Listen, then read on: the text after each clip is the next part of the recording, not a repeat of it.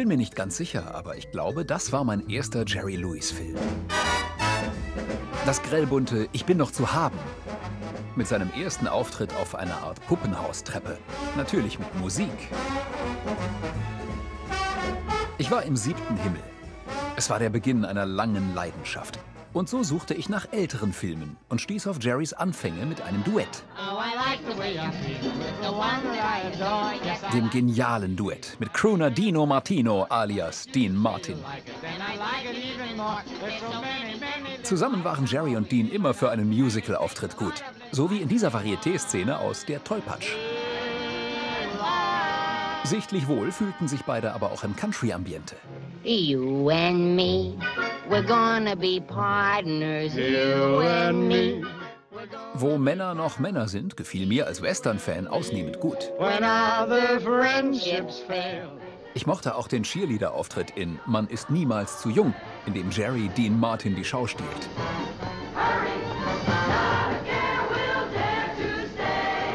Aber noch besser gefiel mir diese Nummer, die sich um moderne Kunst und den Montmartre dreht.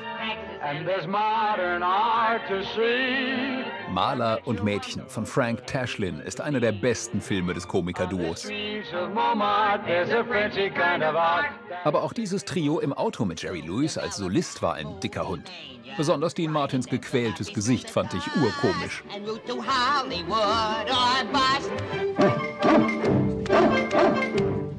Angeblich waren die beiden Stars wie Hund und Katze. Trotzdem half einer dem anderen. So wie bei diesem Abendständchen, bei dem Chef-Crooner Dean Martin Jerry Lewis seine Stimme leiht. Die beiden ergänzen sich perfekt.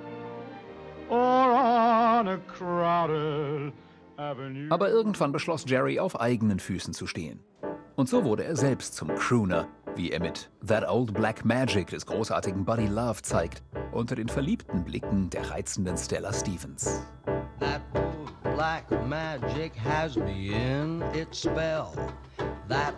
Das war in Der verrückte Professor, der mich bis heute begeistert.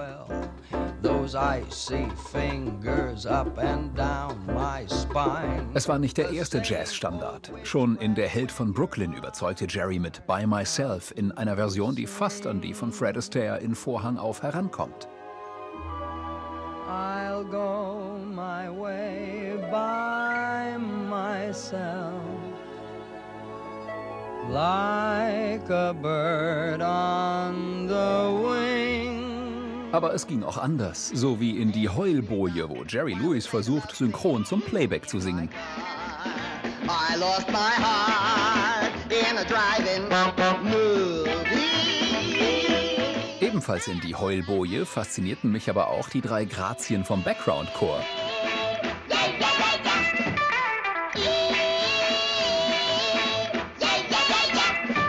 Jerry hat so gut wie nichts ausgelassen. Nicht mal Nottheater in Ein Froschmann an der Angel. Eine Szene, die heute nicht mehr politisch korrekt ist.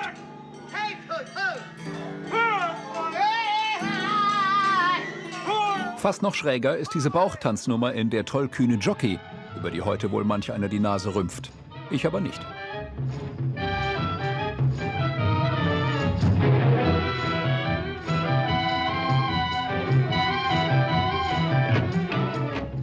In Alles in Handarbeit mimt Jerry Lewis einen Travolta-Verschnitt und schlägt sich in puncto Saturday Night Fever gar nicht schlecht.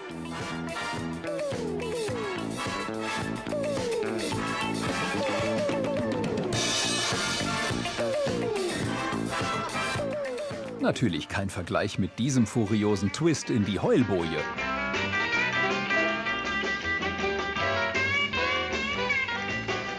Oder mit dieser Treppenszene zur Musik des Count Basie Orchestra in Aschenblödel, wo Jerry große Klasse war.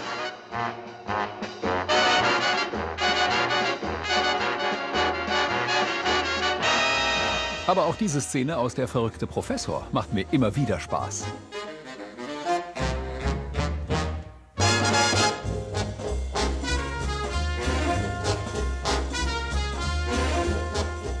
Meine Lieblingsnummer ist aber dieses Ballett der Bankräuber in Immer auf die Kleinen, die zu New York, New York extra für die Überwachungskameras tanzen.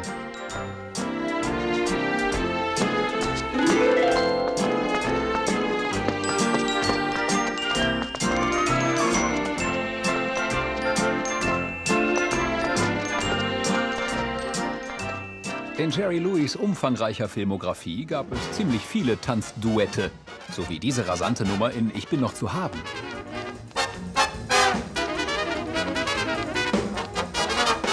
Oder dieses Duett mit der Spinnenfrau auf einer strahlend weißen Bühne. Eine Szene wie aus einem Traum, ebenfalls in Ich bin noch zu haben. Ein hinreißendes Schauspiel.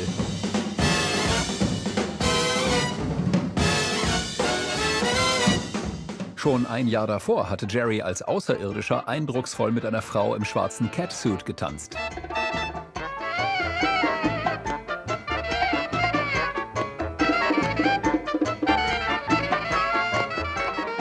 Und in Geld spielt keine Rolle ging es für Jerry heiß her bei diesem jazzigen Twist mit einer ebenbürtigen Partnerin. Danach fühlt man sich für den Rest des Tages beschwingt.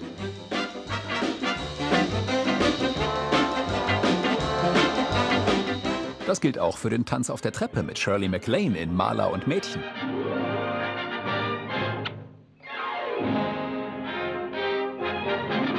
Jerry mochte es, wenn Frauen den ersten Schritt machen. Das beweist dieser heißblütige Tanz in Man ist niemals zu jung.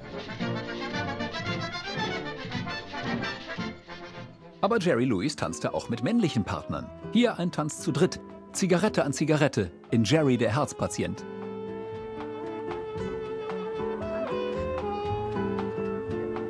Hier zeigt er einen Tango vom Feinsten mit George Raft, einem exzellenten Tanzpartner.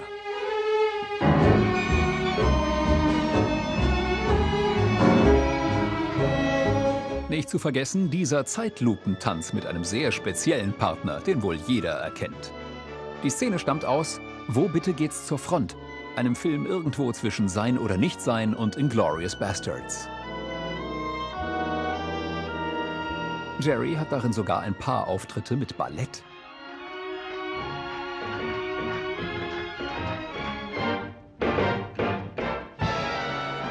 Apropos Haushaltsgeräte, ich liebe diesen durchgedrehten Staubsauger. Was eher nach Apocalypse Now aussieht, stammt aus der Ladenhüter.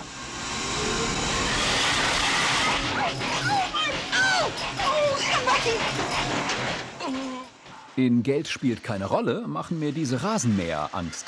Ein Albtraum, der mich nur schwer losgelassen hat.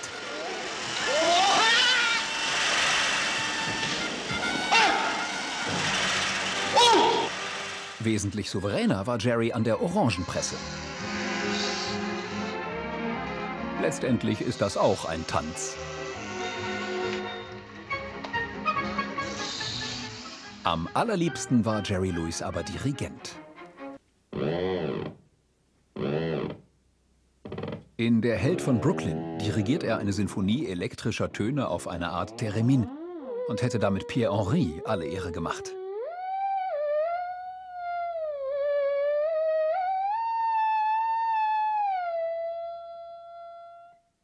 In Hallopage folgt vor einem leeren Festsaal ein ganzes Orchester seinem Taktstock. In diesem Genre geht es kaum besser.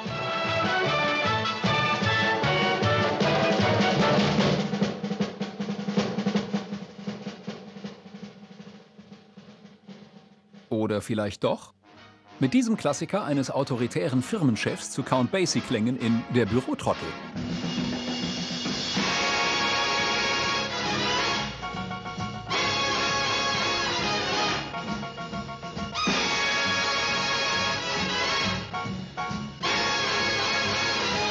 Und noch ein Klassiker. Das Konzert für Schreibmaschine aus der Ladenhüter.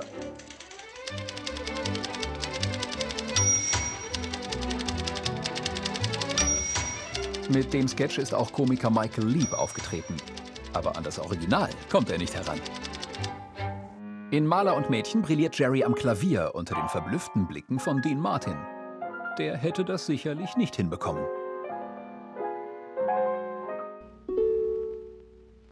Noch besser war Jerry an der Harfe. Da war ich sprachlos.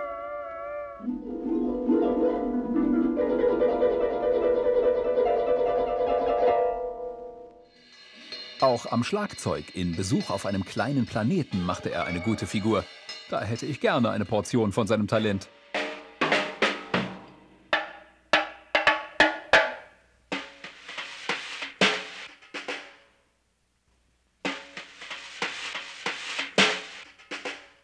Zum Schluss noch etwas Schönes. Jerry Lewis als Ein-Mann-Orchester in Aschenblödel zum wunderbaren Cute von Count Basie.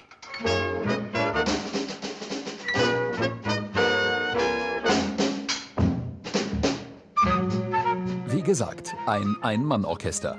Ein Orchester, das mich zum Träumen brachte, mich beschwingte und in Ekstase versetzte. Jerry Lewis ist und bleibt eben unvergleichlich.